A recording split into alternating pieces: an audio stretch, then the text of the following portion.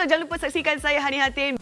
Mungkin figure saya pelik sikit. So, Sofia ni berjaya buat saya nampak okey lah. Di karpet merah, anugerah bintang popular berita harian. Tapi the thing is, I pergi beli kain ini sendiri dengan Sobat Harif. Baju ni daripada Lot Steeler. Saya suka baju ni. Saya sebenarnya saya tak pandai desain. Tapi saya berpuas hati dengan apa yang Haswani bagi pada saya. 24 Mei, 8.30 malam dengan rakan baru saya. Hmm, siapakah beliau? Nantikan di TV9. Hipkan TV anda.